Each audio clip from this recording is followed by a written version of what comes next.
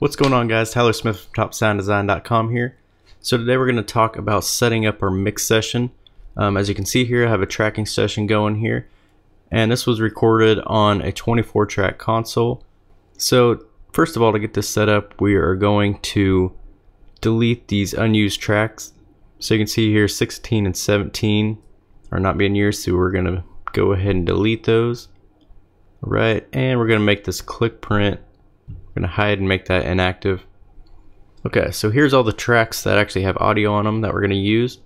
And to start out, organization is key. And we're going to go ahead and start routing instruments to their own buses.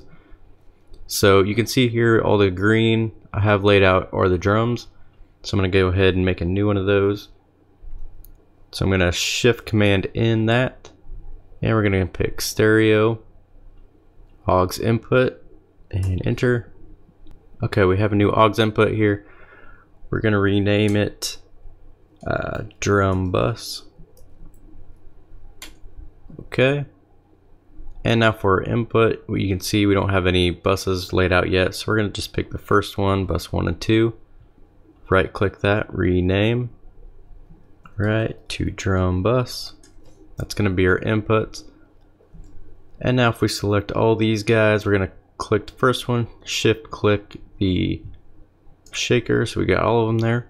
And now when we hold the outputs, we're gonna option shift and select our drum bus. Okay, that's gonna set all of our outputs to that drum bus now. And we're gonna keep on going down, rhythm guitars. Shift command in, stereo aux input, create. Go ahead and change the color on that to orange, if I can it's that orange right there, okay. Double click and rename.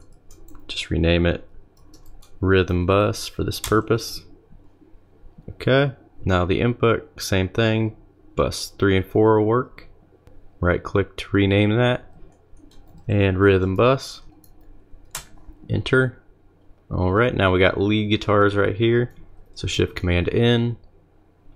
Gonna pick a stereo and aux input enter. Go ahead and color that yellow right there and rename it to lead guitar bus. Go ahead and get rid of that color palette. And now for a mono track we're still going to make a bus. Buses just help compensate everything because once you put a plug then that delays it um, and that comp and everything else has to compensate for that. So so we're going to rename this to bass bus. And let's go ahead and make it red. That's close enough. And down here, let's do shift command in on this acoustic. If you're wondering what the names of those are, that just refers to mid acoustic guitar, side acoustic guitar left, and side acoustic guitar right. Alright, so we're to pick that guy double click on that guy. You can just name this acoustic bus. And same thing with our input. I'm gonna have to go back and put an input on that bass. Right, rename that to acoustic bus. Right, let's go back here before we forget, and that's gonna be seven and eight. It doesn't really matter of the order unless you want it organized in a certain way. So that's going to be bass bus. Okay. And we're going to make a lead vocal bus as well. Just because. And lead vox bus. Or just vox bus, whatever you prefer. Go ahead and make that purple. Uh, let's see which one is that. That's close enough right there. Right, let's go ahead and make that 9 and 10. Rename that to vox bus. Let's go ahead and do our outputs for the individual tracks. So we're going to click rhythm guitar and we're going to shift click down to the bottom. Now we're going to option shift on the output. So it's going to be rhythm. Right now we're going to option shift to lead. And we're just gonna single click on that guy and that's gonna go to the bass bus like so. Same thing with acoustics. Gonna option shift and acoustic stereo. Okay. And one more, we got lead vocal going to Vox bus. Okay, so our next step is we need those buses to route to somewhere, which everything has to have an output, so we need all of our buses to go to a central bus, which is going to be the submaster. So we're going to shift command in, create another stereo aux input. Okay, we'll go ahead and drag that down to the end of the session here. And we'll just call that submaster. And let's do light purple for that. Okay. So we have our submaster here. And we're going to do the same exact thing. We're going to make 13 and 14. This can be any buses you choose, but we're going to make this the submaster bus. And now we go back to our individual buses and we're going to make the output of this go to the submaster. Right, this is so everything sums up to the submaster, kind of like your master fader. Submaster and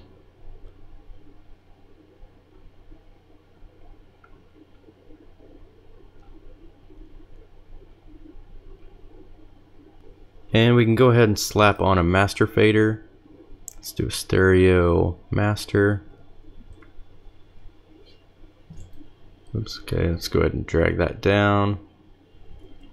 And I like to call it just master, not master one, since there's only one of them. Okay, you can see our session is a little hot there. That's because it's tracking. Um, and it was recorded on a Neve analog console, so everything's coming in a little hot in Pro Tools. So we have both of these routed to our analog 1 and 2, which is fine if you're in the box. I would recommend not putting anything other than analytics on your master fader. Um, this prevents the master fader ends up being Pro Tools. You can read about that in one of our articles. But if you're putting a mix bus compressor, um, if it's just for drums, you could put it up on this drum track. If you have your level set that you want it on the drums, but you just need to you just want to compress them all together a little bit, this would be the place to do that here.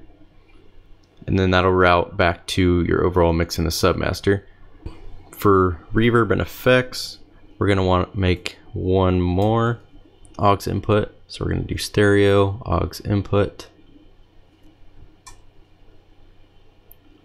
All right, we're going to go ahead and name that reverb. You can do this with delay, whatever effect you have.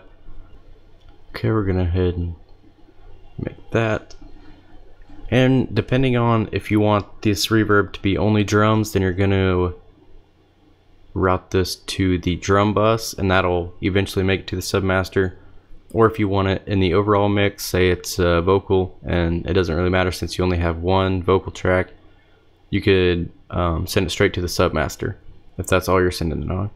So kind of that's just up to you. I usually send it to the submaster on most things, unless you have like a an example could be a like your snare top mic.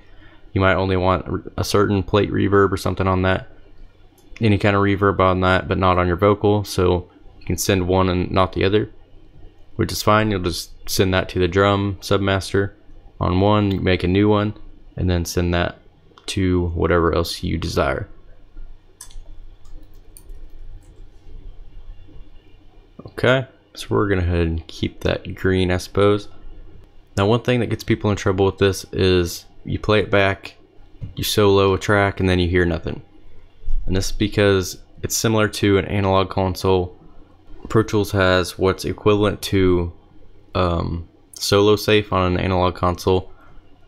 And you're gonna wanna command click the solo button on these aux inputs or buses and that way, when you solo a single track, it doesn't mute the buses. So that way, everything's still going through the buses, whatever you have soloed. So we're gonna head solo that, solo the submaster, and solo the reverb. Alright, now once we solo, let's say, let's do the snare bottom and top. Once we solo safe this, now we got it. And that's going through the drum bus, all the way through the submaster and out the analog one and two.